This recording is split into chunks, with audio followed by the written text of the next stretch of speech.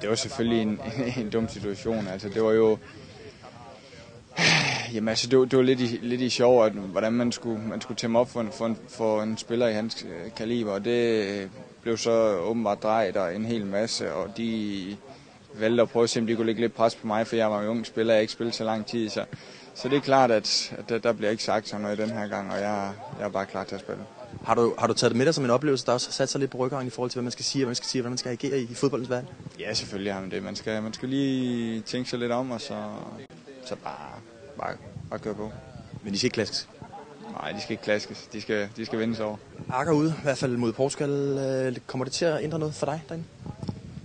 Det gør det ikke. Jeg skal stadigvæk ind og spille med egen spil, og, og Per kender 100% øh, rollen, øh, så, så det, han spiller tror jeg ikke, det betyder, at det er klart, at, at Akker er en vigtig spiller for os, og, og et lille slag, men, men igen, det, det har vi prøvet før, så, så den bliver jeg også sikker på, at vi nok skal løse.